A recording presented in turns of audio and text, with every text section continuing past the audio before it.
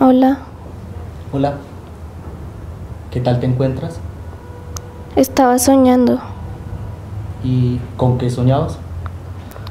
No suelo acordarme, a no ser que el sueño sea especialmente portentoso. ¿Sabes lo que quiere decir esa palabra? Portentoso. No. Es cuando sueñas con algo que va a pasar. Como una noche, soñé que un cuervo vino a mí y me dijo, tu tía va a morir. Tenía tanto miedo que desperté a mis padres. Me dijeron que todo iba a estar bien, que no era más que un sueño, que volviera a la cama. Pero a la mañana siguiente, mi tía Stacy estaba muerta. Eso es terrible. Terrible para ella, pero piensa en mí, una chica tan joven con tanto poder.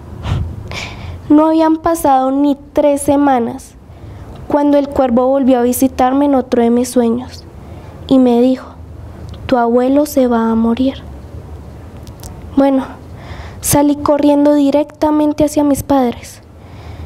Mi padre dijo que no, que el abuelo estaba bien, pero los notaba algo inquietos.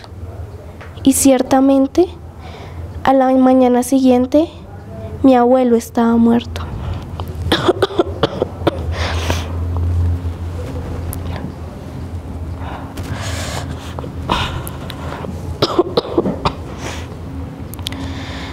Durante un par de semanas no volví a tener más sueños, hasta que una noche el cuervo volvió y me dijo, tu papá se va a morir.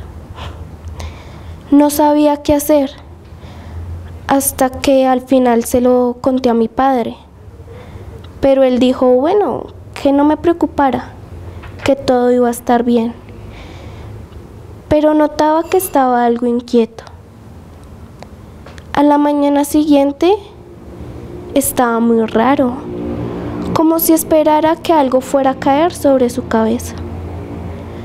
Porque el cuervo no dijo cómo iba a pasar, solo dijo esas palabras, tu papá va a morir.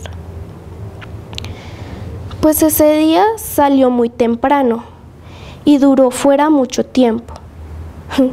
Cuando por fin regresó, tenía muy mal aspecto como si esperara estirar la pata en cualquier momento. Le dijo a mi madre que había tenido el peor día de toda su vida. a lo que mi madre respondió, ¿tú crees que has tenido un mal día? Esta mañana el lechero cayó en el porche de un patatús. Porque verás, mi madre le era infiel con el lechero. ok. ¿Te puedo hacer una foto? No hace falta que me hagas una foto. Puedes buscar guapa en el diccionario. Por favor. Te traje algunas fotos de la boda. Hay una junto a mi padre. Y te hice una copia. Me gustaría ver fotos de tu boda. Nunca he visto una. Eso es porque nunca tuvimos una boda de verdad. Tu suegro nunca debió haberse casado conmigo, pues ya estaba comprometido con otra. No lo sabía. ¿Acaso Lucía no te lo ha contado? No, nunca me comentó nada acerca de eso. Bueno, no importa. Igual es mejor así. Te lo habría contado mal de todas maneras, con todos los hechos y nada del sabor. De modo que todo se trata de un gran cuento. Bueno, no es poca cosa.